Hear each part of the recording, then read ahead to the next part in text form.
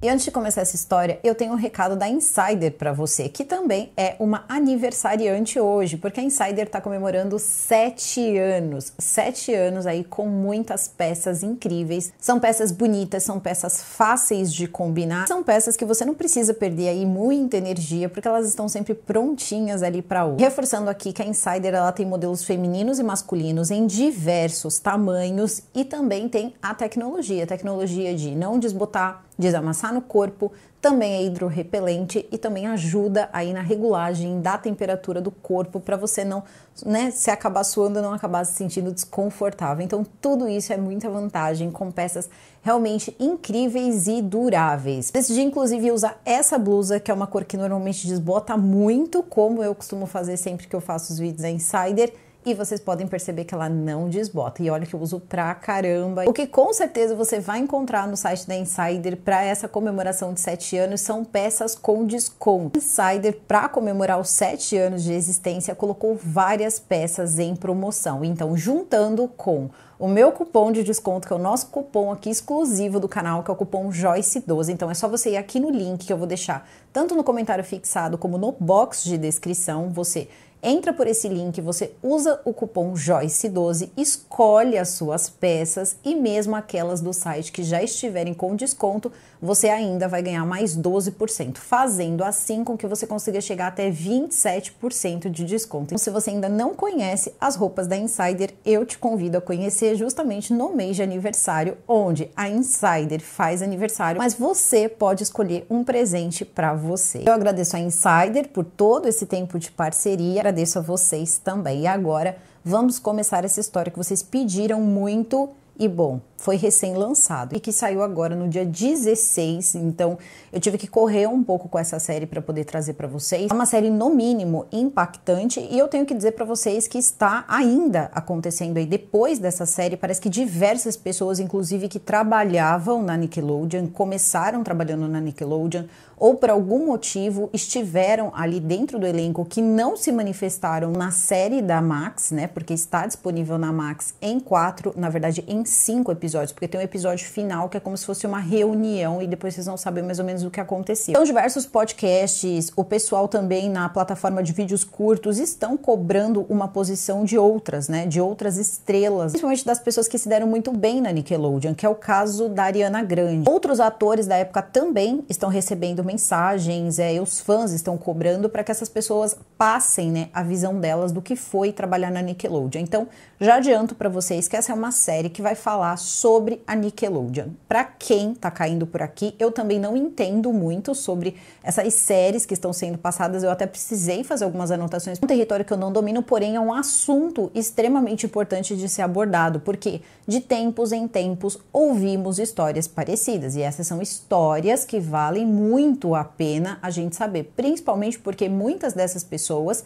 tiveram diversos problemas. Problemas durante o período em que trabalhavam, problemas depois e muitos acabaram aí se tornando pessoas com uma saúde totalmente abalada pelo que acabou passando dentro dos estúdios. E a falta de cuidado também na hora de contratar pessoas para trabalhar com atores mirins. Isso é extremamente é, perturbador se a gente parar para pensar. Essa série ela conseguiu fazer um bom apanhado, tiveram ali revelações muito importantes, que foi o caso do Drake Bell. O Drake Bell ele quase roubou ali a cena toda. Eu acho que de todas as coisas da série, eu acho que o Drake Bell, Amanda Bynes e a Katharina Johnson talvez fossem aí as pessoas que mais chamaram atenção com seus relatos, com a forma forma né, com que tudo começa, vai avançando, o que a gente consegue perceber é o seguinte: tudo vem com o poder. Então, conforme o poder ele foi aumentando, a permissividade ela também foi aumentando. Isso começando com praticamente ali a peça-chave de tudo, o que fazia a Nickelodeon funcionar, que era um homem chamado Dan Schneider. Então, vamos começar aqui falando um pouco sobre o Dan Schneider e de onde ele veio, quem ele era e também as coisas que ele não era e que ele dizia para as pessoas que ele era. Vão aparecer aqui também em tela algumas imagens de atores, outros atores aí que não dá para falar individualmente de cada um, esse vídeo não acaba nunca. O Dan Schneider, ele nasceu no dia 15 de abril de 1966 em Memphis. Quando ele nasce, o pai dele, ele tinha ido para Harvard, uma ótima universidade, uma universidade de nome, principalmente em 1966, e tinha toda uma pressão de você é um menino acima do peso, você não tem nada de diferente, você não tem nada de especial, você não vai ser nada na vida. E ele cresceu ouvindo aquilo, principalmente quando ele decidiu é, fazer teatro ou começar a trabalhar com arte. Isso tudo foi uma coisa que colocou em cima dele quase um holofote de, bom, você é a vergonha da família. Certo dia, então, ele decidiu fazer os pais dele mudar de opinião, começando a trabalhar como ator. Então, ele começa a fazer alguns papéis, papéis até que tiveram aí alguma relevância, acabaram durando algumas temporadas, só que ele acaba recebendo um convite, vendo a forma com que ele trabalhava, a desenvoltura, como ele também improvisava. As pessoas comentavam muito sobre essa questão do improviso. É a questão de você ter a habilidade de não precisar trabalhar com roteiro, você conseguir dominar isso de uma forma em que você não se perde, em que você não deixa é, o humor de lado. E muitas vezes você pega a sua melhor parte, a sua melhor versão e coloca ali naquele ponto, ponto central das suas falas. Então, o Dan Schneider, ele tinha essas habilidades. É que à época ele ainda não era um grande, é, enfim, um grande fenômeno, um grande ator, porque ele era ator, ele era diretor, ele era roteirista, ele fazia de um tudo para que uma produção acontecesse. Que Nickelodeon vai pedir para que ele faça um piloto de um programa, que é o programa That. E cria esse piloto e acaba superando as expectativas das pessoas. E desse período em diante, tudo na Nickelodeon vai mudar, assim, absolutamente tudo. Ele vai começar a adaptar a Nickelodeon como se fosse uma Hollywood para atores mirins. E ele vai fazendo isso com muita humildade no começo. Ele era uma pessoa humilde que ouvia as pessoas, ouvia a ideia das pessoas, incluindo os atores mirins. Então, quando um ator tinha uma boa ideia, ele anotava, ele trabalhava junto, ele era muito respeitador, ele era muito engraçado. Só que às vezes, mesmo ali no início, a gente percebia que ele tinha um problema com limite. Talvez já estivesse começando a subir para a cabeça, mas vai subir mesmo esse poder todo para a cabeça ali por volta de 1999 quando ele já estiver fazendo muito sucesso e já ser considerado ali basicamente patrimônio da Nickelodeon. E a Nick decidir que não vai trocar ele por nenhuma outra pessoa, não vai demiti-lo, não importa o que ele faça. Até os dias de hoje, a Nickelodeon ela ainda defende ele, diz que não tem nenhuma conduta dele que se mostre fora do padrão. A essa época também ele toca um outro, né, um outro programa chamado Kenan e Kel, que também vai muito bem, dura em torno aí de quatro anos, de 1996 até o ano 2000. Porém, o foco mesmo era All That. No começo, All That tinha uma estrela, tinha sempre uma estrela. Ele sempre escolhia uma, um menino e uma menina, ou uma menina para ser a estrela, a principal pessoa de todo o elenco, de todas as pessoas que estavam ali. A Katrina Johnson foi essa primeira estrela favorita. Ela começa muito cedo a trabalhar com o Dan e o Dan adorava ela. Então, tudo que ela fazia era o melhor, todos os papéis melhores eram dela. Acontece que tem um problema aí dentro dessa indústria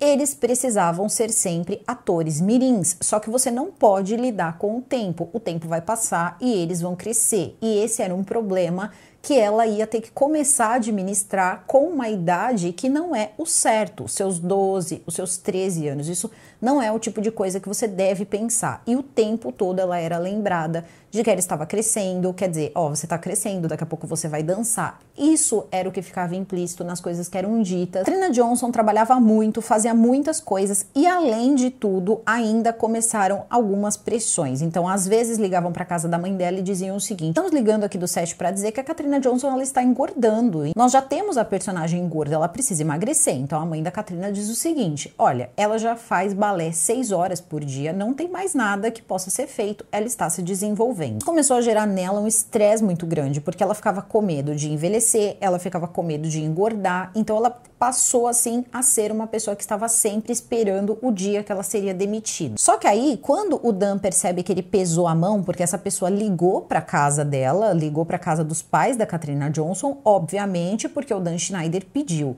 Só que aí o Dan Schneider ele percebe que ele pode ter exagerado. Então o que ele faz? Ele chega para ela e diz o seguinte: Katrina, eu tenho uma ótima ideia. Eu quero fazer o show da Katrina que depois vai ser o show da Amanda, né? O show da Amanda Bynes. Ela ficou muito empolgada, principalmente nesse período que ela já estava começando a crescer, então ela vai ficando muito feliz com tudo aquilo e ela vai contando que ficava esperando. Então eles chegaram a ligar para os pais dela, avisar que seria criado um programa onde ela seria a estrela, que seria o programa da Katrina Johnson.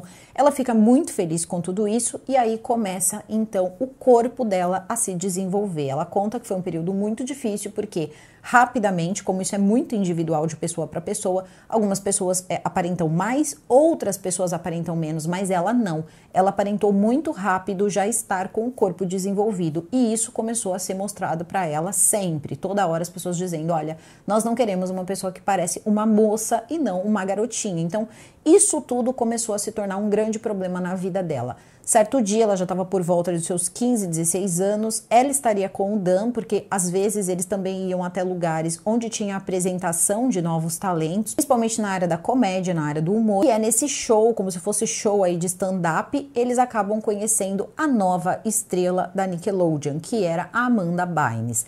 Naquele momento, quem percebe a Amanda Bynes é a Katrina Johnson. E a Katrina diz: Olha, eu acho que você tem que conhecer essa menina porque ela é muito boa e ela é uma menina que tem tudo aí pela frente. Que a época a Amanda Bynes, ela tava por volta de seus 5, 6 anos, então isso aí já era uma coisa muito boa para ela, porque ela teria muitos anos pela frente para continuar trabalhando. Depois, então, que o Dan, ele percebe que ela existe, né, que a Amanda existe. Ela foi contratada na hora, né, tiveram alguns testes, algumas coisas, mas era ela que era fofa, era ela que era incrível, tudo era pra ela. E a Katrina foi sendo colocada cada vez mais de lado. E a Katrina diz que ela teve um insight. Ela está entrando na Nickelodeon e ela vai ficar no meu lugar. E ela ficou calma, né? Tentou ficar calma ali, vendo tudo acontecer. Eu tenho que dizer para vocês que essa questão toda da Amanda Bynes vai durar muitos anos. Isso também é mostrado de uma forma bem mais leve no documentário, porque a Amanda Bynes, ela vai ter muitos problemas ali quando ela se tornar um pouco mais velha. Logo, rapidamente, o show que seria o show da Katrina Johnson passa a ser o show da Amanda Bynes. E a Amanda ia levando aquele show cada vez mais ali a outro nível, ela ia se desenvolvendo cada vez mais e todo o roteiro, tudo que era importante era escrito pelo Dan Schneider. Só que coisas estranhas aconteciam também em relação ao Dan Schneider e a Amanda Bynes. Vai acontecer com outras pessoas, claro, mas também acontecia já a essa época com a Amanda Bynes, porque o tempo todo ele estava em cenas com a Amanda Bynes que não eram cenas muito, muito legais ali para você estar com uma menina tão jovem. Ele tá sempre abraçando, o que parece uma coisa muito legal. Olha, meu grande chefe, meu grande mentor, né? Ai, como eu amo ele. E devia amar mesmo, porque afinal de contas, para ela, ele era o passaporte dela para Hollywood. Então, na cabeça dela, estava tudo dando certo na vida dela e ele estava proporcionando tudo aquilo. Então, era muito carinho, era muita coisa e algumas pessoas achavam aquilo muito estranho. Primeiro, que a Amanda ela era o tipo de atriz que ela não andava pelo set, ela estava sempre em reunião com o Dan Schneider, independente aí da idade. Os anos vão se passando, se passando, mas sempre ela era a favorita. Então ela discutia o que ela ia falar, toda a parte ali do roteiro dela, segundo o que era contado para as outras pessoas e também para os outros pais, já vou chegar nessa parte, era que sempre eles estavam fazendo reuniões de trabalho para saber quais seriam os próximos passos das personagens da Amanda Bynes e assim por diante. Ela estava sempre em um lugar de privilégio. Pelo menos é o que a gente espera, né? Depois de tudo que a gente ficar sabendo, se essas reuniões eram por privilégio ou se essas reuniões eram para outra coisa. Realmente não dá para saber. Uma vez também que eu já vou avisar aqui, a Amanda Bynes não participa do documentário, ela não quis participar do documentário. E talvez também fosse até por questões aí de estar em uma internação para desintoxicação que ela teria encerrado agora e há pouco tempo atrás, então não sei como tá essa condição física da Amanda Bynes, mas ela não participa do documentário. E Dan Schneider cria outro programa, um programa de desafio. As pessoas iam até lá, normalmente o pessoal da Nickelodeon, né? Esses atores mirins, eles participavam, tinha uma pessoa apresentando, mas era tudo muito melequento, era geleia caindo para todo lado, muita coisa verde, onde tem cenas como, por exemplo, uma pessoa ali entrando num lugar cheio de minhocas, como se fosse aquelas caixas de acrílico cheio de minhoca, a pessoa não pode é, fugir de lá, e ele ia fazendo essas coisas todas, a pessoa era coberto por coisa verde, tinha também o apresentador do programa, que também saía todo cheio de coisa verde ali, de geleca verde, tinham muitas coisas acontecendo ali, mas tinham já alguns problemas que estavam aparecendo. Eles tinham no elenco um ator negro, na verdade, dois atores negros nessa época. Um deles era o Brian. O Brian, em um desses programas que tinha que fazer um desafio, ele é todo coberto com pasta de amendoim. Primeiro que já deve ser bem horrível você ficar ali cheio de pasta de amendoim. O que ele não sabia é que depois disso, vários cachorros acabariam no palco. Esses cachorros iriam lamber essa pasta de amendoim. Isso não é uma coisa muito legal, né? Era pasta de amendoim cachorros, enfim, lambendo a pasta de amendoim. porque nós estamos falando de um garoto negro e ele deixava muito claro que o set de gravação deles era um set inclusivo. Então tinham crianças ali que eram gordas, crianças é, de peles de todas as cores, ele não tinha problema com nada, mas isso não é verdade. É como se ele fosse preenchendo ali algumas cotas, é justamente isso, tá? Eu não estou exagerando em momento algum. Os atores mirins que eram negros tinham também seus papéis, participavam das coisas, mas não tinha tanta chance quanto os outros, tá? E também sofria bastante pressão. Era como se fosse assim, se os outros não podiam abrir a boca para quase nada,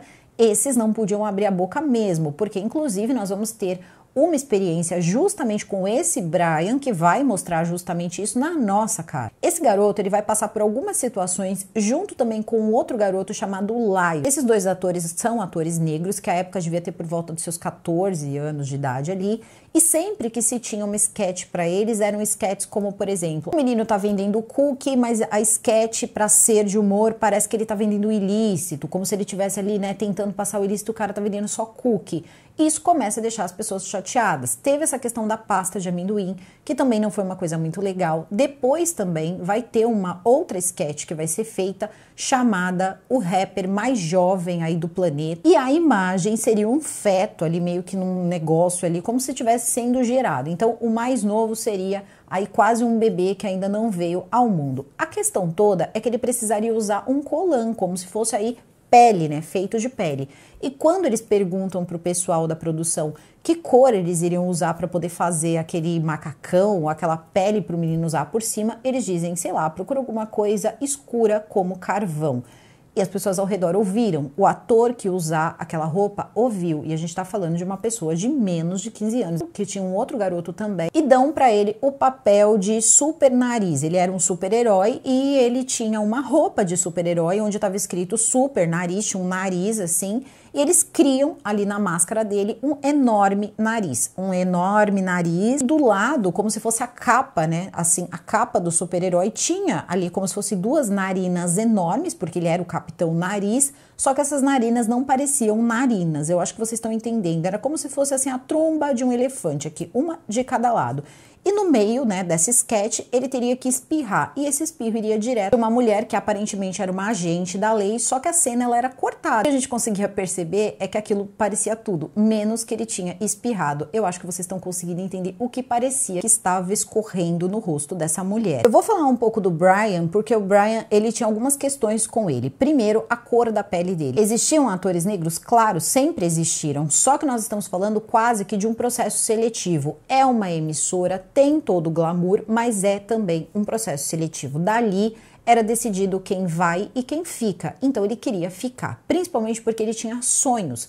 Ele queria ser um ator, ele tinha vontade de sair da periferia, é uma coisa que ele fala durante o documentário, e ele tinha, é, na cabeça dele, ele entendia tudo aquilo. A mãe dele, que acompanhava tudo isso, ela ficava muito triste. Ela ficava assim inconsolável, mas ela tinha medo de falar alguma coisa e o menino acabar sendo demitido. Percebendo tudo que o filho dela estava passando, porque aquilo era humilhante, e mais uma vez ela também percebia como o filho dela ia aceitando absolutamente tudo. E talvez naquele momento o instinto de mãe ali tenha dito: não, eu não vou deixar meu filho aceitar tudo desse jeito aí que essa galera quer fazer e simplesmente vou ficar aqui assistindo. Ela diz que quando o episódio que ele tá ali com aquela roupa, precisariam de um tecido cor carvão, que foi uma coisa que deixou ela muito triste. Ele também ficou muito triste e se sentiu um pouco também humilhado naquele momento. E tinham todas as outras coisas que ela ia percebendo, tinha a questão dos cookies. Então, ela disse o seguinte: Olha, eu não tô gostando do que vocês estão fazendo com o meu filho. Só que o filho dela queria continuar trabalhando como ator. Ele queria comprar uma casa, ele queria sair de lá, ele tinha sonhos. E na cabeça dele, naquela época, ele começou a entender que a mãe dele estava atrapalhando os sonhos dele, porque afinal de contas, ela foi reclamar. Então ela fala com o pessoal e diz: Olha, por que, que vocês ficam dando esses papéis para o meu filho? Esses papéis não são legais. Eu assisti esse episódio na televisão, eu não achei que foi um episódio engraçado, eu não consegui ver graça naquilo. Eles a trataram como se ela estivesse exagerando tudo, como se aquilo fosse absurdo, foram ali descredibilizando tudo que ela estava falando. E o que aconteceu em seguida foi: o filho dela ganhou o olho da rua. O problema disso aqui não é ganhar o olho da rua, é a idade que essas pessoas tinham que lidar com esse tipo de coisa. Então, talvez eles tivessem acertado em uma coisa. Talvez para você conseguir chegar a certos lugares, você realmente tenha que passar por todas essas situações aqui que são relatadas e a gente não sabe quantos estão ali no topo, já com bem mais idade e passaram por coisas de repente até piores. Isso acontecia em 1990 com tantas pessoas próximas, tinham os pais que ficavam por ali, tinha equipes maiores do que se tinha antigamente. Você imagina o que não deveria acontecer muito antes de Dan Schneider. E um comportamento, normalmente ele é sempre aperfeiçoado, mas ele vem de um lugar, ele tem uma origem. Digo isso porque dentro da Nickelodeon vai ser descoberto, processado e até mesmo preso três pedo, tá? Então não é um, não é dois. O próprio Dan não entra nisso. O Dan não é acusado disso, mas os outros três sim, e eles faziam parte da equipe. Então é claro, você tá lá, você tá vendo como funciona o sistema de trabalho, quem são as pessoas que você tem que orientar e você já tem essa, enfim, essa bestialidade junto com você óbvio que ali é o melhor lugar que você tem para trabalhar. Estrelas que hoje são estrelas grandes, como por exemplo a Ariana Grande. A Ariana Grande vai passar por situações ali nas filmagens, ali nos papéis dela que são impressionantes. Como por exemplo você vê ela se molhando é, com a água ali perto ali do colo dela, com água. Você perceber ela tentando fazer suco de batata, então ela segura uma batata, ela espreme a batata fazendo som, fazendo sons ali que são eróticos. Então não é uma coisa agradável de você ver e também outras cenas, ou se você estivesse comendo alguma coisa, o formato daquilo lembrava uma genitália masculina. Então isso não era uma coisa apropriada e com o tempo as pessoas foram percebendo. O pessoal que trabalhava junto foi percebendo que aquilo era meio fora do limite, só que já era uma época que o Dan Schneider não ouvia ninguém. Ele estava pouco se lixando, ele estava se divertindo enfim, todos esses homens com esses desejos aí terríveis estavam soltos, estavam ativos e realizando os seus feitos. Com o tempo ele vai perceber, por exemplo, que, bom, tá faltando aqui umas mulheres trabalhando aqui nessa parte de, né, de criação. Afinal de contas, tem mulheres trabalhando por todos os lados, por que, que na, na Nickelodeon e aqui justamente não tem? Então ele decide contratar duas roteiristas. A época que ele contrata a Christy e a Jenny, elas ficam muito felizes. Elas estavam depositando suas fichas em um lugar lugar importante era Nickelodeon. Então, claro que você quer ser um roteirista na Nickelodeon e elas começam a trabalhar. E as coisas começam a passar dos limites, mas começa a passar legal, começando na contratação. Quando elas são contratadas, é dito a elas que elas teriam que dividir um único salário. Então, eles pegaram o salário de um roteirista e disseram para essas duas moças: dividam o salário, meio para um, meio para outra. Então, você tem dois funcionários pelo preço de um e essas funcionárias ainda faziam massagens no Dan Schneider, porque ele dizia que ele estava com dor no pescoço, ou ele dizia que ele estava com dor no pé. Isso com pessoas assim olhando, simplesmente, na minha opinião, é mais humilhante do que erótico. Quando você vê a cena, o que você enxerga é eu sou um rei e essas pessoas são minhas escravas e eu tô aqui recebendo massagem e tá todo mundo aqui para me fazer feliz, para me alegrar. Então essas mulheres elas tinham que trabalhar, fazer os roteiros e claro, ele pediu uma coisa, ele pedia outra. As duas moças recebiam muito mal. Então o que acontecia? Ele chegava e colocava desafios como: você conseguir tomar um litro de sorvete em meia hora, eu te dou aí 300 dólares, 400 dólares. Ela, que estava com os boletos dela atrasado, vai lá e toma esse sorvete nesse tempo. Até acaba passando mal, porque era muito sorvete, só que ele não paga esse dinheiro. Certo dia, ele vai fazer mais uma vez uma aposta dessa. E ela vai virar para ele, a Christie, vai falar assim: então eu vou colocar no seu caderninho das pessoas que você está devendo dinheiro de aposta. Ele vira para ela e diz o seguinte: quem você está pensando que é?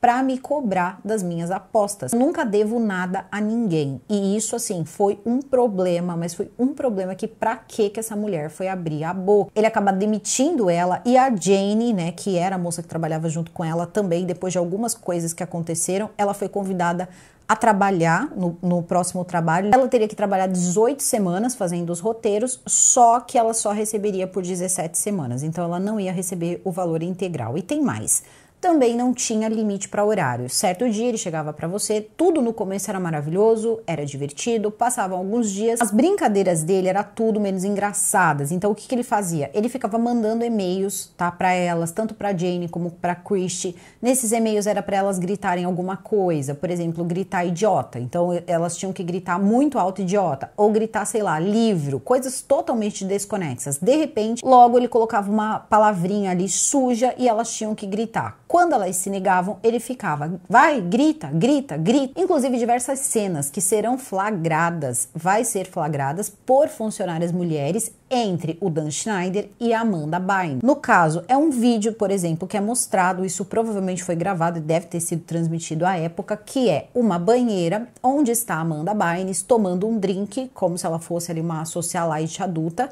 e ele está vestido ali com as roupas dele normal, ele tá até de óculos escuro, tá de terno e tal. Só que ali ele tá conversando com ela e dizendo para ela: "Você tá vendo? Você tá aqui vivendo essa coisa toda de celebridade, mas acontece que tudo isso quem escreveu fui eu, quem te deu fui eu". Então ele estava sempre dizendo: Olha para o que você tem, porque fui eu que te dei. E quando ele exagerava, ele ia lá e oferecia um programa, tentava compensar dessa forma com os programas dele. E cada vez mais os programas iam ganhando mais e mais notoriedade. As pessoas amavam a Nickelodeon, amavam os personagens da Nickelodeon. Amanda Bynes, ela vai fazer tanto sucesso que ela vai começar a chegar numa idade onde não vai preocupar que ela está crescendo. Então, eles decidem ali fazer algumas cenas onde mostra ela um pouco mais velha, então ela já tá com outro tipo de roupa, roupas mais curtas, cenas um pouco mais diferentes, então tudo dá uma mudada, né? Quando ela decide que ela quer ser uma Amanda Bynes um pouco mais velha. E também é convidada pela Warner para fazer uma série chamada Coisas que eu odeio em você. Ela é convidada como entrando ali como personagem principal, só que tem o seguinte, tem um pulinho do gato aí. Por quê?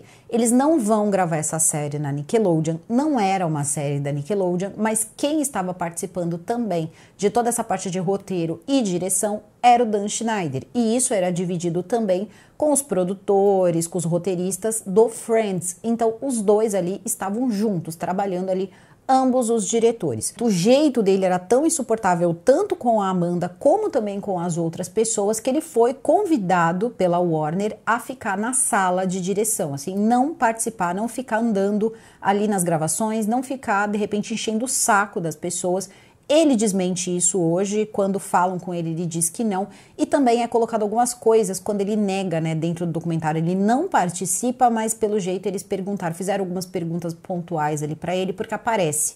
Aparece em alguns momentos. Ah, é, eu nunca fui proibido de andar pelo set. Aí tá lá, Dan Schneider. Dan Schneider responde. Então sempre tem, mas são coisas muito pontuais. O começo de descida da carreira da Amanda Bynes também se deve à emancipação ou tentativa de emancipação emancipação. Emancipação é quando você começa a responder com a, como um adulto quando você ainda não tem a maior idade. Isso pode ser decidido no tribunal e tenho que dizer que também não é uma coisa muito incomum, principalmente quando a gente fala de atores, é, modelos, isso é até uma coisa um pouquinho comum. Só que isso acontece com o endosso, com o apoio do Dan Schneider. E a decisão é não, ela não vai ser emancipada. Então, nesse momento, os pais cortam qualquer relação com Dan Schneider e a filha também acaba é, usando ali algumas substâncias que ela já na verdade estava usando, depois começa a usar cada vez mais, ainda continua um tempo trabalhando na série Coisas que Odeio em Você, mas só por mais um tempo e depois disso as notícias sobre Amanda Bynes são apenas, infelizmente, notícias muito ruins. Isso também marca o que essas pessoas começaram a fazer quando elas começaram a crescer. Contado, muitas vezes a gente sabe de coisas que foram acontecendo não apenas na Nickelodeon, mas também na Disney, né? Aqueles personagens que tinha da Disney e tal, Hannah Montana e tudo mais essas pessoas elas iam tendo ali um crescimento muito problemático. Por exemplo, eles tinham apenas três horas por dia para poder estudar e tudo que eles não faziam era estudar. Tem uma cena do documentário que seria eles é, estudando essas três horas e alguns ali fazem até um, alguma brincadeira em relação a essas três horas que eles estudariam, que basicamente não existia. Então ninguém estudava muita coisa ali, não eram todos ali nem que se talvez prestasse o trabalho ali de tentar fazer as atividades e eles estavam mais preocupados e eufóricos em ir lá e fazer o seu trabalho e interpretar o seu papel. Aquilo era como se fosse uma Disneylândia, estava tudo ali ao alcance da mão deles, uma oportunidade, coisas diferentes, coisas que eles queriam. Eles estavam vivendo um sonho. Tinham coisas também muito estranhas relacionadas a pé. É, gente, pé. Parece que o Dan ele tinha alguma coisa em relação a pé. Existem diversas cenas de atrizes fazendo cenas com seus pés. Então existe uma cena de um médico, tem um médico como se a menina tivesse se machucado e o médico tá lá no pé dela dizendo que os pés são macios, né, com aquela cara. A Ariana Grande tá tentando colocar o pé dentro da boca. Tem umas coisas assim que são totalmente. Você fica pensando, meu Deus, mas o que leva uma pessoa a achar que isso é engraçado? Isso não é engraçado, é no máximo nojento em todos os sentidos, mesmo quando você assiste isso sendo muito jovem e você pensar que isso saiu da cabeça de um adulto, de um adulto de já de certa idade. Então, eram coisas ali bem estranhas. E agora nós vamos para o primeiro Pedro, tá? O primeiro Pedro se chamava Jason Randy. O Jason Randy era descrito por todos ali como sendo uma pessoa, uma criatura muito amorosa, muito carinhosa, conversava com os pais, ele era sempre muito amigável. Inclusive, ele dizia que ele amava tanto o trabalho dele que ele trabalhava algumas horas a mais por semana todos os dias para poder dar apoio a eles e totalmente de graça. Até que um dia esse tal Jason conhece uma garota chamada Brandy e a Brandy tinha uma década e ele decide trocar e-mails ali, trocar telefones com ela e ela estava trabalhando no Old Age. Então, ela já estava com algumas cenas, e nas cenas ela estava começando, era bem o início e ela também era bem novinha. Então, os dois começam a trocar o e-mail. A mãe fica bem ali preocupada com essa situação e diz o seguinte: "Olha, eu vou prestar atenção aqui nesses e-mails, porque isso aqui não é uma coisa muito normal. Ela olha os e-mails e verifica que não se trata de nada além do que trocas de informações que eram pertinentes ali com o trabalho deles. Era falando sobre gravação, era falando sobre roteiro, era falando sobre coisas do dia a dia de cada um ali dentro da Nickelodeon. A Brandy abre os e-mails dela, parte direto para o banheiro e começa a chorar. A mãe dela vai atrás, vai tentar saber o que aconteceu, olha o e-mail para tentar entender porque a filha está chorando e quando ela olha o e-mail, ela encontra então este homem, este Jason Randy, sem uma peça de roupa, segurando seu membro e colocou uma mensagem embaixo dizendo: "É assim que eu me sinto quando eu te vejo". Essa mulher, ela ficou totalmente desesperada. O que eu vou fazer? Ele tocou na minha filha, o que eu vou fazer? E se ele tocou na minha filha e começou a ficar muito nervosa, ela não teve coragem de ir até a polícia. Ela não teve coragem porque ela ficou com medo que acabasse acontecendo alguma coisa com ela, de repente até ser presa, né? Talvez ela tenha tido medo na época, por quê? Ela ficou com medo que os policiais dissessem assim: ah, mas você colocou ela lá, então a culpa é sua, ou você não deveria ter permitido. E ela foi levando as coisas todas ali, talvez por um viés totalmente profissional, e nunca existiu profissionalismo da parte desse cara. Desse e de mais dois, tá? É que eu preciso ir um a um. Vão ligar para casa da Brandy e falar com a mãe dela. A mãe dela vai atender e são policiais. Os policiais teriam prendido o Jason Randy, acusado de pedo, teriam encontrado um material na casa dele, como por exemplo saquinhos como souvenirs, então ali dentro tinha de tudo. No caso da Brandy, tinham algumas cartas que eles teriam trocado, ele teria deixado o nome nos saquinhos para ele saber qual saquinho era de cada menina. Em um deles, inclusive, tinha uma calcinha, então ele guardava aquelas coisas lá. Eles também encontram um diário onde ele abre ali a mente dele, escreve tudo, né, que passava na cabeça dele em relação àquelas pessoas ali. Acho que vocês estão entendendo.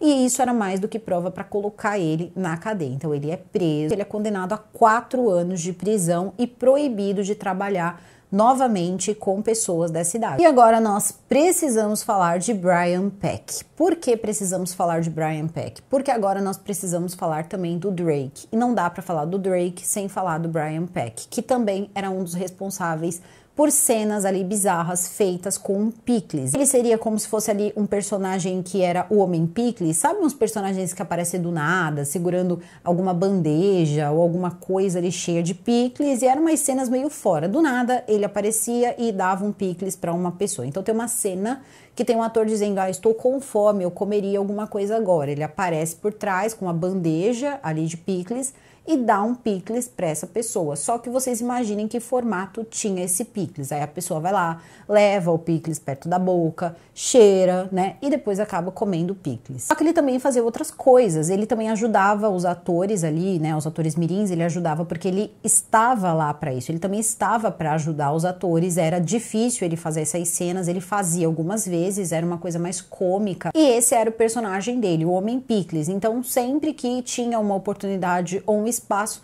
aparecia ele com aquela bandeja de picles e dava um picles para uma pessoa. Só que esse homem ele vai ser uma incógnita por muito tempo, mas muito tempo mesmo. Ele dava churrascos na casa dele, ele parecia ser uma pessoa ali muito fácil de lidar. Só que começa uns relacionamentos estranhos com os meninos. Então, tinha momentos, por exemplo, que ele dava festas na casa dele. Teve um rapaz que também trabalhou como ator por quatro anos na Nickelodeon, provavelmente está passando a foto dele aqui, e ele conta que estava na casa. Quando de repente ele começa a ver como a casa era legal. Então tá tudo acontecendo ali, o pessoal tá se divertindo, ele começa a olhar a casa e tinha um cômodo da casa que era tudo ali sobre plane o planeta dos macacos ou era Star Wars. Só que ele também percebe em meio aquilo tudo um quadro, um quadro de um palhaço. Ele pega o quadro de palhaço, começa a olhar, isso o garoto, o garoto, o garoto tinha ali seus 14 anos de idade. Ele começa a olhar ali o quadro e ele vira o quadro e tinha uma dedicatória com carinho do seu grande amigo John Wayne Gacy. Sim, nós estamos falando do John Wayne Gacy, o Gacy, o palhaço que se fantasiava de palhaço e começa a se empolgar, porque o menino diz o seguinte: o menino não sabia, ele diz, ele conta no documentário, ele fala: eu não tinha muita ideia em detalhes de quem era John Wayne Gacy, mas eu tinha mais ou menos, eu sabia que ele era um bandido. Então eu peguei e contei, porque eu achei aquilo muito estranho, ele ter ali aquilo, eu achei até legal. Ele começou a mostrar para outras pessoas. Esse cara, o Brian, ele se empolgou e ele trouxe várias coisas. Eles se correspondiam por cartas. Era amigo de correspondência do John Wayne Gacy. Então tinha cartas que eles trocavam, desenhos, várias coisas. O cara era amigo de um SK. Nós estamos falando de mais um funcionário da Nickelodeon mais um funcionário que ficava ali o tempo todo interagindo com os atores. Essa época também eles vão contratar um novo, uma nova estrela, né? Uma nova estrela mirim que era o Drake Bell. Sim, gente, o Drake que acabou roubando aí boa parte da série. A história do Drake é muito forte, então é uma história que acabou inclusive ficando oculta até o dia em que eles decidiram fazer esse documentário e ele decidiu falar. E é uma história aí que foi bem justa e que teve o apoio aí de pessoas muito importantes da indústria que deram apoio para a pessoa que estava sendo acusada. Então, isso também é uma coisa que pega bastante. Por isso que a história do Drake acabou se tornando uma história tão forte. Ele tem também os seus antecedentes ali, o Drake, o seu histórico, isso aí ninguém precisa negar, não é porque é um querido, passou pelo que passou, mas cada coisa em seu lugar. Aqui nós estamos falando de uma pessoa com uma idade de seus 12, que começa a ter uma amizade com esse Brian Peck. É o Brian Peck do John Wayne Gacy. Quando ele chega na Nickelodeon, ele começa como todos, fazendo ali alguns papéis, pequenos papéis. Também tinha o show da Amanda ainda acontecendo, então às vezes ele aparecia no show da Amanda. Enfim, iam dando ali alguns papéis para ele fazer, até que acabaram dando depois um papel para eles. Mas isso aí também pode ter uma explicação. Ele era um garoto muito jovem e um garoto que amava cinema. Isso isso dito pelo pai dele. Então o pai dele disse que passava horas e passava dias também levando ele para fazer audições, para poder fazer alguns é, testes para ele conseguir ser ator e ele passava o restante do tempo todo estudando para ser um ator. Ele queria ser um ator, ele queria ser um cantor. E também começa a ser uma estrela dentro da Nickelodeon e também passa a ser a pessoa que Brian Peck não quer sair de perto. Alguns, alguns, como no caso né, da Amanda Bynes, alguns não tinham os pais dentro do set. Então isso era muito variável, tá? Podia estar, podia não estar, depende do que a pessoa tá fazendo. Ah, ele não pode estar aqui agora porque ele tá fazendo tal coisa, melhor os pais não entrarem. E essa coisa foi sendo levada aí para frente. Pelo que eu consegui entender é, do próprio relato ali do Drake, quando isso começou a acontecer, ele ainda não tinha um papel fixo, ele estava ainda um pouco perdido dentro da Nickelodeon. Só que quando o Brian colocar as mãos nele, a coisa vai ficar diferente. Começou com alisando muito o cabelo, passando muito a mão ali no braço, abraçando demais e o pai dele de olho o pai do Drake olhando tudo aquilo e achando que aquilo ali não estava legal. Ele um dia perdeu a paciência, foi até o escritório e disse o seguinte: Olha, eu não quero mais esse cara alisando meu filho, eu não quero mais esse cara é, passando a mão, é muito abraço, é muito carinho, eu não estou conseguindo entender o que está acontecendo ali. Disseram o seguinte para ele: Olha, você pode ficar relaxado, ele é desse jeito, ele é meio é, cheio de coisa ali porque ele é gay. Teriam dito isso pro pai do Drake. O pai do Drake meio que disse: Olha, eu não tô muito preocupado com o que ele é ou o que ele deixa de ser, eu só não quero que ele fique colocando a mão no meu filho. Os carinhos, a atenção, né, do Brian começou a se tornar maior ali em relação ao Drake. Conforme o tempo foi passando, chegou o dia, né, do aniversário de 15 anos do Drake, que foi feita na casa do Brian Peck. Brian Peck teria oferecido a casa para que fosse feita a festa de aniversário. O Brian Peck já tinha trabalhado muito a cabeça do Drake, dizendo para ele que ele ganhava muito dinheiro e que o pai dele estava roubando o dinheiro dele, dizendo que o tempo que ele estava trabalhando já era para ele estar tá rico e ele só não estava porque o pai estava desviando tudo, que se ele continuasse daquele jeito ele nunca seria um grande ator porque o pai dele atrapalhava tudo, então ele foi colocando o Drake contra o pai dele. Até que nesse dia que teve a questão toda do aniversário, passou um pouquinho, ele chegou pro pai dele e disse: "Eu não quero mais que você seja o meu agente. Eu não quero mais você envolvido nas minhas coisas". E os dois teriam brigado. E a situação ela fica difícil porque ele já não tinha presente ao mesmo tempo o pai e a mãe. Então eram pais separados. O pai, pelo que eu entendi no documentário, teve um tempo ali que ficou sem ver o Drake, eu acredito que alguns anos, e conseguiu na justiça o direito de ver o Drake. E não se dava bem com a mãe dele também, com a mãe do Drake. Só que nesse dia ele disse o seguinte: Olha, eu vou te respeitar, mas eu já aviso para você, disse para a mãe do Drake não deixa o nosso filho perto desse Brian Peck. Esse cara, eu não gosto desse cara. Não deixa o nosso filho perto dele, porque eu não confio nele. Você me promete? Ele teria feito a mãe prometer que não deixaria o Drake perto do Brian Peck ela promete, mas ela não cumpre. Daí para frente, as coisas legais começaram a acontecer. Muitos passeios para Disney, onde normalmente a única pessoa mais jovem ali era o próprio Drake, o resto eram amigos do Brian, do Brian Peck e o Brian Peck, então tinham sempre passeios para Disney, tinham jantares, também existiam momentos em que eles precisavam repassar, né, repassar os textos e tal, e faziam isso juntos. Ele sempre dizia para a mãe do, do Drake que ele iria ajudar, e aí acabava ficando muito tarde. Não, eu, é melhor ele dormir aqui. No dia seguinte eu cuido dele, eu levo ele para o trabalho. E a mãe dele foi deixando, porque eu acho que a mãe dele também não tinha aí muito cuidado é, nessa parte, aí não se ligava muito nisso, não. O Drake passou a ser quase ali que responsabilidade desse Brian Peck, só que de um outro jeito, um jeito muito estranho. O tempo foi passando até que um dia, segundo o Drake, ele sempre dormia no sofá como acontecia todas as noites, e um dia ele acorda e ele tá numa situação que ele não imaginava. Ele tá sem as roupas e ele diz que o Brian Peck estaria ali em meio ao ato. Ele não descreve o que nem como, tá? Isso o Drake, ele não, não, não fala nada.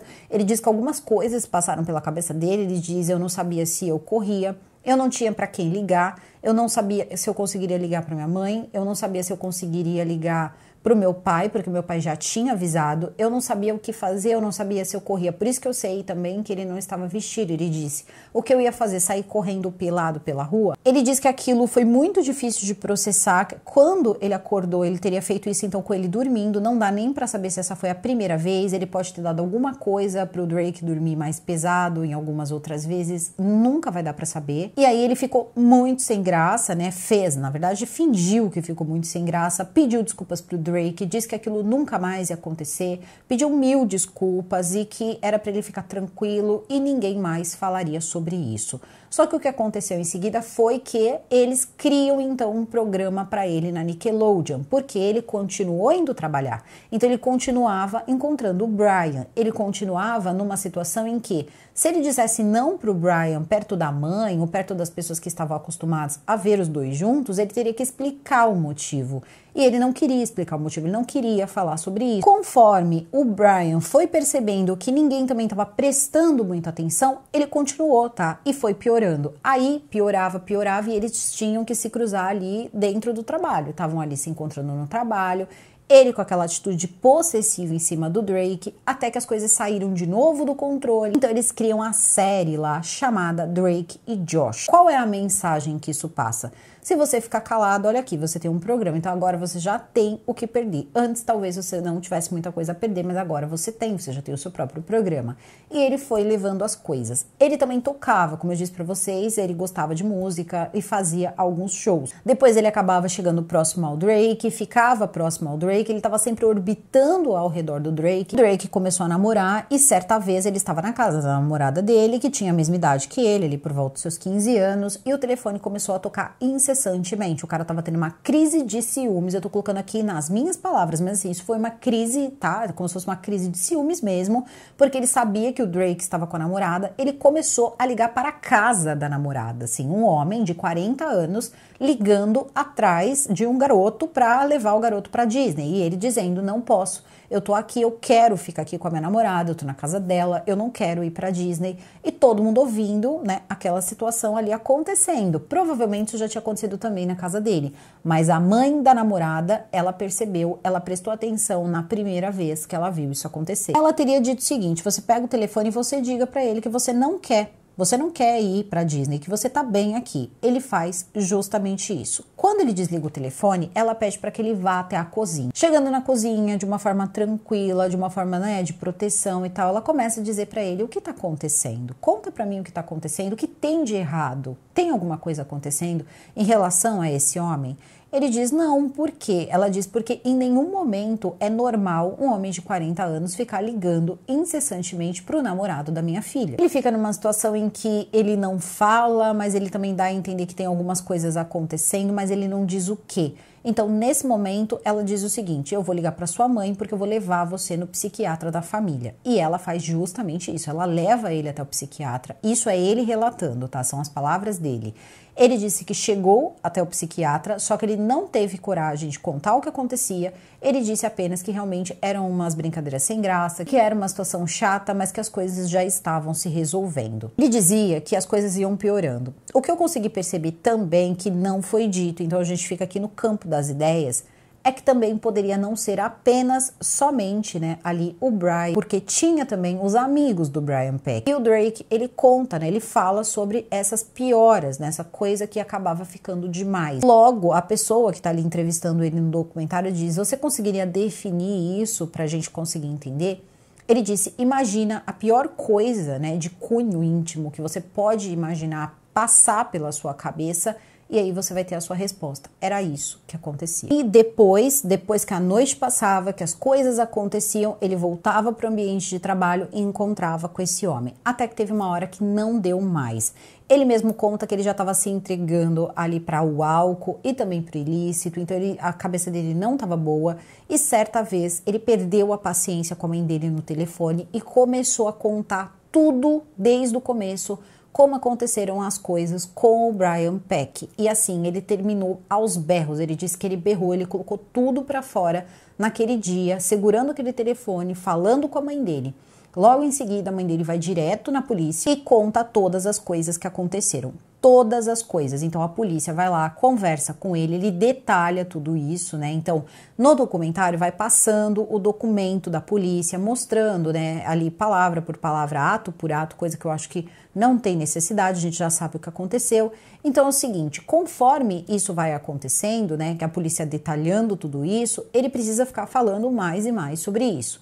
Só que o policial, ele diz que ele precisa ligar para o Brian Peck e fazer o Brian Peck assumir que ele teria feito isso com o Drake. E olha só essa situação. Como que você vai ligar para a pessoa e fazer ela assumir isso, ele teria que colocar ele nessa situação, ele já teve que relembrar tudo e ainda tem que falar com o cara. Ele fez, ele ligou pro Brian Peck e ele conseguiu ali que o Brian Peck confessasse. Só que ele foi fazendo isso aos poucos, ele teve que trabalhar essa situação aos poucos e o tempo todo o Brian Peck ficava dizendo: "Você tá me gravando? Você tá me gravando? Você tá me gravando?". Ele já tava sentindo que aquilo tava, tinha alguma coisa ali errada. Ele foi levando o Brian ali aos poucos e conseguiu o que a polícia precisava. O Dan Schneider chega um dia nas gravações, estava todo mundo, né, dos elencos e tal, ali reunidos, estudando, fazendo as atividades, quando de repente ele diz para os pais que queria que os pais saíssem da sala porque ele precisava falar uma coisa ali com os atores. Todos os pais saem da sala e ele diz o seguinte: Olha, eu queria contar para vocês que o Brian Peck não trabalha mais com a gente. Todo mundo ficou, né? Achou aquilo meio estranho, mas ele disse que não trabalharia mais lá e que ele teria sido preso. E diz o seguinte também: e tinha também com ele advogado, tinha uma galera lá com Dan Schneider. E ele diz também que se tivesse acontecido alguma coisa com qualquer um deles, era para eles contarem naquela hora. Ninguém teria se manifestado. Desse dia em diante, muitas pessoas começam a se perguntar, tanto entre os atores como também entre as pessoas que trabalhavam na Nickelodeon, quem teria sido a pessoa que gerou a prisão, né, do Brian Peck. Então ninguém sabia sobre o Drake, ninguém ficou sabendo. Inclusive o processo dele correu em segredo de justiça, ninguém podia vazar nenhuma imagem do que aconteceu no tribunal, nada, nada que aconteceu ali, nada que foi relatado para a polícia vazou. Só veio à tona agora porque o Drake decidiu contar no documentário. Já existiam algumas pessoas que desconfiavam de uma coisa ou outra, mas certeza ninguém nunca teve. Assim como algumas pessoas desconfiam até os dias de hoje que o Dan Schneider poderia ter tido um caso com a Amanda Bynes. Em uma idade que de repente a Amanda Bynes também não poderia ter um relacionamento com Dan Schneider. Mas fora isso, ninguém tinha nada, nada nunca saiu da boca dele. Só que ele conta também que foi uma situação em que ele não entendeu o que aconteceu. Ele diz que os dias se seguiram, o trabalho na Nickelodeon se seguiu e que o Dan disse o seguinte para ele: o Dan e isso a gente tem que dar a mão à palmatória. O cara foi legal com ele. Talvez tenha sido legal para livrar a própria cara, talvez e talvez até com, com certeza, mas foi uma coisa, pelo menos, que deu um pouco de dignidade pro Drake naquele momento. Enfim, ele estava se sentindo sem nenhuma. Inclusive, ele diz que ele liga pro pai dele. Quando eles prendem o Brian Peck, ele teria ligado pro pai dele e dito o seguinte: pai, era verdade eles prenderam o Brian Peck. O pai teria ficado emocionado e dito para ele: Eu te avisei, eu disse que tinha alguma coisa estranha com aquele cara. E vai passando o pai dele no documentário. O pai dele parece um roqueiro, assim, sabe? Um pai roqueiro, assim, e super protetor, amava demais aquele filho dele. E aí ele diz que ele conta pro pai, só que o pai, ele vai ficando feliz e diz assim: Eu só sinto muito pelo garoto, eu só sinto muito pela pessoa que acabou passando por isso. Só que a pessoa que tinha passado por isso era o Drake. O Drake não teve coragem de contar contar para o pai dele. E o Drake se afastou do pai dele, talvez para não contar, ele preferiu se afastar. E a vida do Drake, ela foi se tornando uma vida com muitos problemas, mas muitos problemas desde essa época. Brian Peck nem tinha sido julgado ainda e a vida do Drake já estava assim uma bagunça. Ele já tinha se entregado para o álcool, para o ilícito, também já tinha algumas confusões relacionadas a ele dirigir de repente sob influência de alguma substância. Tinham muitas coisas ali na conta dele. Depois, futuramente, também vai aparecer a questão da garota, que ele teria colocado uma menor em risco. Ele pagou pelo que ele fez. Confiança, ele também fez serviço voluntário, mas ele também desembolsou bastante dinheiro ele pagou a dívida dele com a sociedade. Pagou muito mais do que esses monstros que acabaram sendo presos. O que aconteceu com o Drake não ganha a cena do documentário à toa. É que foi muito absurdo, porque veja só. O outro, vocês perceberam, teve ali é, várias acusações, claro, mas ele pegou quatro anos. Talvez não tenha cumprido tudo, não, talvez não. Mas no caso do Brian Peck vai ser absurdo demais. Por quê? Você vai ver no tribunal, vai estar tá apenas tá, o pai, a mãe e o Drake no dia do julgamento. Do lado, na defesa dele ali, pessoas que estavam apoiando o Brian Peck, era assim um grupo enorme de pessoas do mercado. Então, atores, atrizes estavam lá para dar essa força para ele. Também tinha mais coisa. 42 cartas saíram do sigilo aí durante o documentário, que eram cartas de apoio. O Drake não sabia que essas cartas existiam. Ele leu essas cartas depois que aconteceu o documentário. E ele pôde ver quem eram os atores que apoiaram o que ele fez. Ele pôde saber quem foram as pessoas que apoiaram o Brian Peck. Então tinham muitos atores ali importantes na época apoiando ele. Inclusive tinha ali falas extremamente complicadas, porque dizia: "Ah, mas ele teria forçado o Brian Peck a fazer tal ato assim. A culpa é do Drake e não do Brian.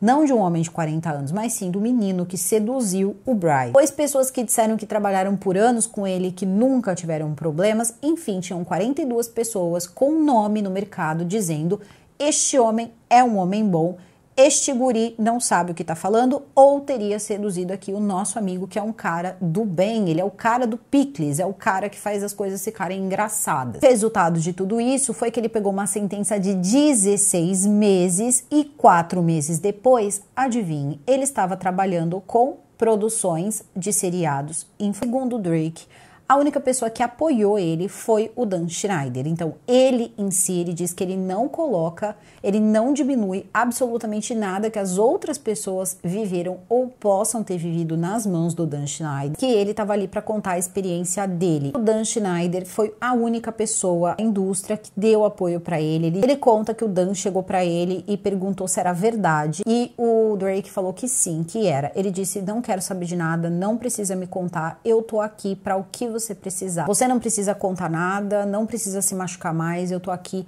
para te dar essa força, eu tô aqui para ficar do seu lado. Então ele teria ficado do lado realmente do Drake, inclusive não tem cartas do Dan Schneider apoiando o Brian Peck. Isso a essa altura do campeonato já é muita coisa, porque tinham 42 mais as pessoas que estavam lá pessoalmente, então já era um bom apoio. Para quem estava na situação que o Drake estava, foi um apoio, e aí a gente é obrigado a reconhecer esse apoio. Claro, né? Desse tempo em diante, ele vai ficar um tempo, vai continuar trabalhando um tempo ainda na indústria e depois ele também passa a cantar, passa a fazer os shows dele, vai tendo os problemas da vida adulta, até que depois, com o tempo, ele diz que vai aprendendo a lidar com isso, mas ele nunca conseguiu falar sobre isso, ele nunca conseguiu contar para ninguém é nada sobre isso. Ele disse que Hoje ele já tem outras coisas, ele tem uma vida, ele tem família, mas ele não conseguia falar sobre isso. Mas ele disse que esse era o momento, isso era importante, a terapia dele começava ali. Como eu disse para vocês, muitos atores não participaram e tiveram os que participaram. Então o que acontece depois disso? É contado que as moças, vocês lembram das roteiristas?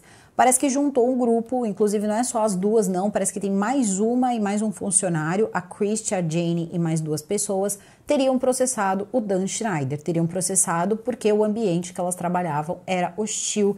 Começaram a detalhar tudo isso e até mesmo outras acusações. Então ele respondeu, ou ainda responde, esse processo que teria acontecido à época que elas trabalhavam aí, é uma equipe aí que trabalhou para ele. Mas as coisas esquisitas, elas continuavam acontecendo, os espirros na cara, principalmente envolvendo garotas, então começaram a chegar novas meninas que foi o caso, por exemplo, da irmã da Britney Spears, uma nova fase de programas ali que ele começou a fazer, e inclusive ele começou também a aderir a essa questão toda do YouTube. O YouTube, ele começou a entrar nessa história toda quando ele cria duas séries. Tinha também Zoe 101 e Carly, várias séries ali foram criadas por ele. Também tinham as que eram adaptadas justamente para o público do YouTube. As séries elas funcionavam como se elas estivessem trabalhando, inclusive gravando vlogs, que era o que muitas pessoas estavam fazendo na época no YouTube. Isso é contado também no documentário, mas também tem mais uma pessoa para ser presa pelo mesmo motivo que as outras pessoas que era um homem chamado Enzel Chen. As atrizes dessas produções elas começaram também a ser filmadas para ser postadas no YouTube. Então, o Dan Schneider ele começou a postar algumas cenas delas ali andando pelo set, fazendo alguma coisa, mas sempre Sempre ele procurava um ângulo, ele procurava alguma coisa que tinha um duplo sentido e deixava as pessoas visivelmente desconfortáveis. Os atores acabavam visivelmente desconfortáveis. A atriz que trabalhava no programa Zoe 101 também sempre era filmada, ela não gostava disso. Ela também não gostava dos papéis que ela acabava interpretando, usando roupas curtas e de repente fazendo coisas ali que não era muito legal para a idade dela. Ela estava ali por volta dos seus 12 anos, então ela era uma atriz mirim e ele estava colocando a coisa toda em outro nível. Só que era difícil para esse homem. Ele era a estrela de ouro da Nickelodeon e ele não perderia o emprego dele. E não adiantava, tá? Não adiantava vir todos esses processos, não adiantava as reclamações, não adiantava o que as pessoas falavam e nem as que estavam sendo presas. Isso continuava acontecendo de uma forma ou de outra. Podia ser de forma totalmente, né, ali consumada, como foi o caso dos que acabaram sendo presos, ou como ele, que ninguém nunca é, conseguiu provar nada de mais concreto. Ou caso tenha, ou um dia teve, foi muito bem guardado, muito bem limpo, e a gente sabe que essa é uma indústria que sabe limpar. Limpa e limpa bem, limpa e suja no momento que é interessante. Então, no quinto episódio da série, eles fazem depois. O, os últimos episódios ali, o último episódio que é o Drake, a parte do Drake pra frente é uma parte que já tá totalmente tomada pelo Drake mesmo. Já as pessoas já não conseguem mais pensar em outra coisa a não ser a história do Drake. Então o quinto episódio é uma reunião onde todas as pessoas que participaram, que estiveram no documentário, elas têm a oportunidade de falar. Claro, nem todas falam, acabam ali, algumas pessoas acabam não falando. E fala, por exemplo, o Brian, que tinha sido aquele garoto que ficou muito bravo com a mãe, aquele garoto que passava por aquelas situações bem desagradáveis, até mesmo humilhantes, e que a mãe acabou tirando ele das gravações. Ele pede desculpa para a mãe e aí eu chego à conclusão que ele teria ficado pelo menos aí uns 13 anos sem falar com a mãe dele pelo que tinha acontecido é muita coisa também, né? De repente você ser a mãe de uma pessoa que aos 13 anos de idade simplesmente fica com raiva e para de falar com você ou começa a agir de forma grosseira com você e passa a não te considerar mais a mãe dele, é uma coisa muito estranha. Então eles começam a contar algumas coisas sobre como era ser atores, né, atores mirins negros, quando eles estavam na Nickelodeon, falar um pouco sobre o comportamento do Dan, como a vida deles aí começou a ser tocada para frente depois daquilo. Então, algumas pessoas ali, algumas poucas pessoas entre atores e também pais puderam estar ali falando com uma entrevistadora. Tinha uma moça ali entrevistando eles e perguntas foram feitas.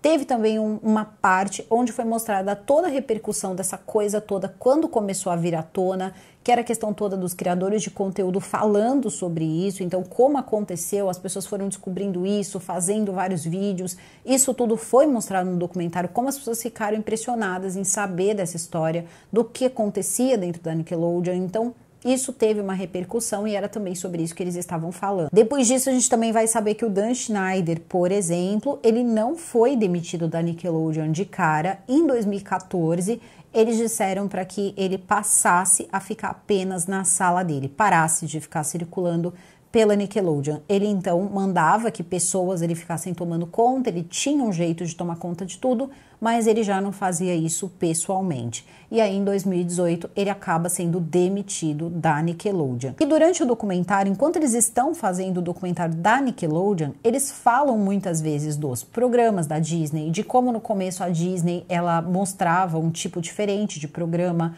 como a Nickelodeon era a melhor opção e a segunda opção era a Disney, e que depois a Disney acordou, começou a fazer programas parecidos. Então, depois de tudo isso, não vai me espantar se o próximo documentário, como esse aqui que a gente assistiu, ali sobre a Disney e tudo que aconteceu na Disney. E uma coisa que a gente sabe é que muito provavelmente Brian Peck vai aparecer se eles fizerem um trabalho parecido mas com a Disney. Agora, se eles vão conseguir fazer isso, não sei. Inclusive, muitas pessoas, mais uma vez, estão quase que, né, correndo demais, né, atrás dos atores que eram da Nickelodeon, fizeram parte de todos esses programas aí que uma geração inteira cresceu assistindo, mas que não se manifestaram, não falaram nada, né, não ajudaram ali os amigos, então todo mundo começou a colocar eles como pessoas ali que poderiam ser coniventes de repente com o que estava acontecendo, coisas até totalmente sem sentido, cada um fala o que acha que deve falar e quando acha que deve falar. Muitas pessoas dizendo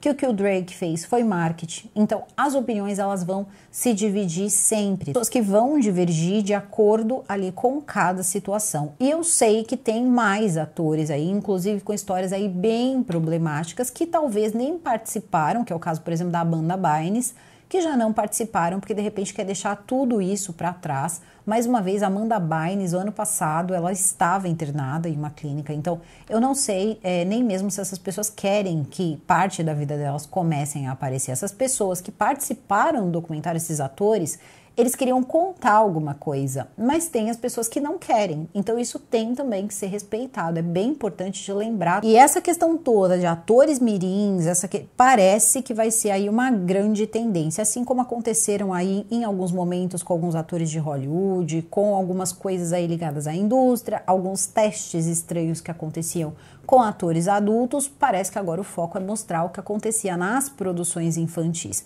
Inclusive, é, tem é, o próprio Dan Schneider falando várias coisas, que daqui 10 anos também vão ter pessoas falando do que é feito hoje em dia, e que tudo é uma questão de tempo, tudo é uma questão é, de distanciamento, seria o tal do distanciamento histórico. As coisas eram feitas daquela forma naquela época. Então, esse é o tipo de documentário que é polêmico, vai dividir opiniões, não tem jeito. Vai ter pessoas até que vai dizer, ah, ele ele estava fazendo isso pelo papel. Foi uma união de muitas pessoas para que essas histórias elas tivessem ali provas, elas tivessem ali um lastro para conseguir ali vir à tona. Agora, se eles vão conseguir isso com a Disney ou se eles pretendem, aí a gente vai precisar esperar. De repente, ali nas entrelinhas, pode até ser um aviso para a própria Disney, não sabemos, mas foi sim um grande, mas um grande exposed aí da Nickelodeon e também acabou né, trazendo à tona aí a verdade sobre o que aconteceu com o Drake Bells. A série ela está com o título que está na capa, disponível na Max em cinco episódios, então vocês podem assistir, ela está legendada, então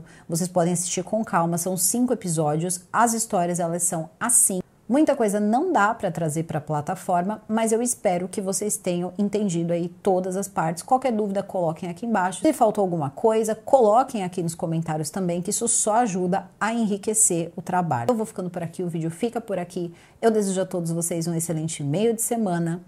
Super beijo e até o próximo vídeo.